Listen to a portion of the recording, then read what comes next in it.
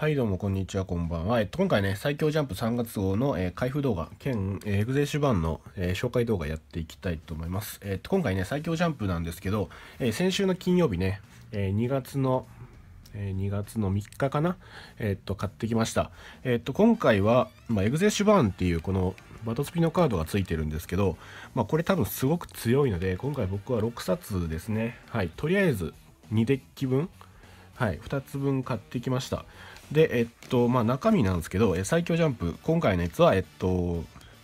まあ、プロモーションカードっていうのが、え4枚ついてきてますね。えっと、デジモンと、えドラゴンボールが2枚、で、バトスピが1枚っていう感じで、まあ、4枚ついてきてて、で、さらにね、バトスピの、まあ、コミックスの方が、ダブルドライブの方が今回で最終回ということで、はい、今回で連載終了です。え次のやつが何も書いてないんですけどね。はい。まあ、とりあえず終了らしいですね。で、あとは、え第5章の降臨とかの情報と、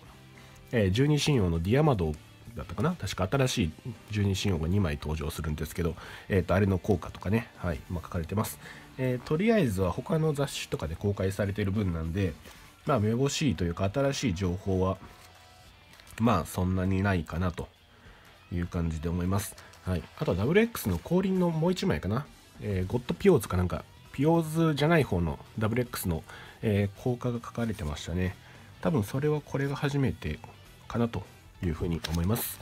えっ、と、まず、まあ、付録カードなんですけど、えーバトスピ以外だとデジモンの、えー超ドカッチモンってやつが、えーとついてきてるのと、はい。で、ドラゴンボールで、えーベジット、ベジットじゃない、えートランクス。はい。トランクス未来と、えーベジット。ね、こっちがベジットです。はい。光り方はこんな感じですね。はい。うん。まあ、こんな感じの、えーっと、カードがついてきてるのと、えーっと、今回のメインで、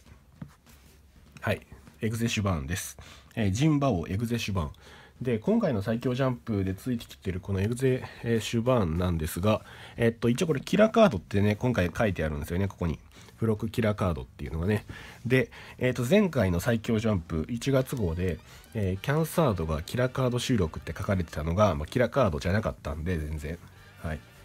えーあれがキラーカードだとは僕は認めないんですけど、で、今回のエグゼシュバンは、えー、としっかりね、マスターレア仕様で収録されてます。はい。こう、ホイール仕様というかね、マスターレアみたいなこう光ってる、えバージョンで収録されてます。これ結構いいですよね。はい。前回のキャンサードもこういう風に光らせてほしかったんですけど、えー今回のはしっかり光ってます。で、えーエグゼシュバンなんですが、えっ、と、4コストの、え軽減が、3つ、赤が2つと、えこれ青ですね。はい。これ少し緑っぽかったんで緑かなとか思ったんですけど、えっ、と、これ青軽減で1つになってます。で、レベルがね、4まであって、え1万2000、マックス1万2000まで上がります。で、系統が10巻と、えー、高10。で、さらに能力が、能力が3つですね。はい。1つ目が、えっ、と、召喚時。このターンの間、このスピリットから最高レベルになる、えー最高レベルとして扱う。で、2つ目が、えっ、と、指定アタックですね。スピリットまたはアルティメットに指定アタック。で、3つ目が封印時のアタック時効果で、えっと、このスピリットの BP 化の相手のスピリットまたはアルティメットを破壊することで、相手のライフ1つをリザーブに置くことができると。置くという効果を3つ持ってます。えっ、と、単純にね、BP 化破壊でさらに指定アタックなので、えー召喚したターンに1万2000になるななれるということで、まあ、召喚ターン1万2000以下を指定アタックと破壊効果で合計2体までこのカード1枚で、えー除去することができます。これ単純に強いですよね。で、4コストなんで、えっ、と、高校1ターン目に、まあ、最速召喚可能で、高校1ターン目からスピリットを並べつつ、えーっと、相手の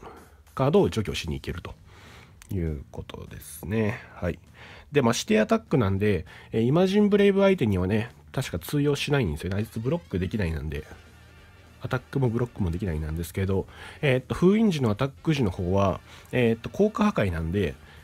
BP 化のスピリット、アルティメット一体破壊することで、なんで、効果破壊なんで、こっちは確かスピリット状態のイマジンブレイブが、えーっと、破壊可能になってますと。はい。はい、間違ってたらごめんなさい。はい、で、エグゼシュバーンです。まあとりあえずこれ、雑誌でしゅ、えーっと、このね、最強ジャンプで紹介されている相性のいいカードとしてあったのが、えーエグゼシードですね。やっぱりエグゼっていう名前がつくんで、まあ、これ自体が相性がいいと、まあ、封印時効果が短期でねエグゼシードがアタック時封印持ってるんで、えー、ここの封印時効果が発動できる。でさらに実感なんで走破を与えることができるんで、えー、と走破が与えられると、えー、指定アタックプラスえー、とそのスピリットのシンボルの数だけライフを削ることができるんで、えっ、とエグゼシュバンの効果で1つダメージ。で走破を与えることによってさらに指定アタックで1点ダメージ。なんで2点与えられることができます。でそこに、まあ、イマジンブレイブ等のブレイブがつけば短期で3点ダメージですね。自身の効果と走破で2点。で3点ダメージ与えることができます。でさらにまあエンマジンなんですけど、まあ、エンマジン右側のアタック時で BP 以下を破壊することができるので、えー、っとこいつのブーストで5000プラスされるんですよね。まあ、それで1万2000プラス5000で1万7000以下。1万7000以下を破壊できると。でさらにまあ、エンマジンの破壊効果と指定アタックと不意日の効果で1万7000以下がこのカード1枚で3枚破壊することが可能になります。はい、で、まあ、弱点としてエグゼシュ版、まあ、BP が高くなるんですが1万2000の、まあ、弱点としてあるのが、まあ、召喚時効果を発揮してしまうっていうことで、まあ、他のえー、カードと違ってね召喚時を発揮してしまうので、まあ、牛文字の1万5000焼きだったり、えー、っと他の、はい、召喚時効果で疲労させられたりとかねしてしまうことが多いんですが、えー、っとまあ、召喚時持ちの弱点として、まあ、そこでやっぱり相性がいいのが、えー、超閻魔人ですね超閻魔人を召喚すると,、えー、と相手のバーストを召喚時のタイミングメインステップで破壊することができるので、えっと、超閻魔人召喚からのエグゼシュバンを召喚することによって、まあ、エグゼシュバンが安全に安全に、えっと、召喚時を発揮して安全にライフを破壊しに行けると。はい、でもダブルドライブはね信用限定なんでちょっと相性は悪いんですけど、えっと、一応バーストが貼られていた場合は超閻魔人からのエグゼッシュバーンの方が、はい、強いと思います。まあ、エンマ人でもね、バーストが破壊できるんですけど、まあ、タイミングがアタックステップのアタック時効果なんで、まあ、ここの召喚時を警戒するならこちらの超閻魔人の方が相性がいいのかなというふうに思います。はい。